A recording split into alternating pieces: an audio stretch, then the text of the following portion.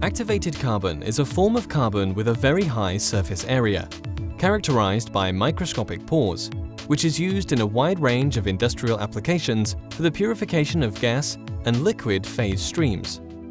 Examples of common applications include biogas cleanup, water treatment, and air purification. After a period of time, once the carbon filter is saturated or the treatment objective is no longer being achieved, the spent carbon is removed or exchanged and taken to a licensed transfer station ready for subsequent treatment or disposal.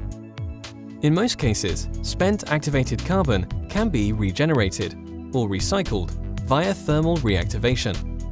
Laboratory testing by skilled and experienced scientists confirms whether each batch of spent carbon is suitable for reactivation, a process referred to as carbon acceptance.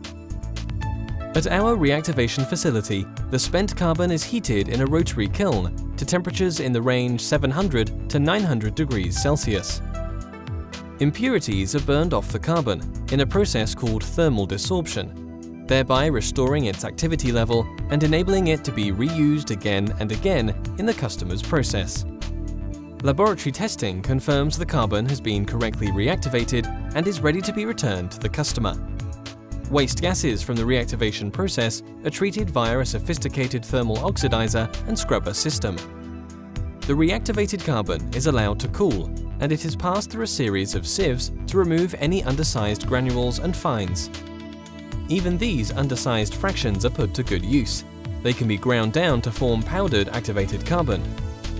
Depending on the customer's requirements, the reactivated carbon can undergo additional processing steps, such as acid washing, water washing, and or drying. The reactivated carbon is now ready to be resupplied to customers, either in big bags, bulk trucks, or one of our dedicated mobile carbon filters. The return of the reactivated carbon back to a customer site completes the reactivation cycle, which we refer to as Regen-Sys, and represents a significant saving in terms of cost and carbon footprint compared with the use of brand new or virgin activated carbon. CPL Activated Carbons, the active force in carbon and service.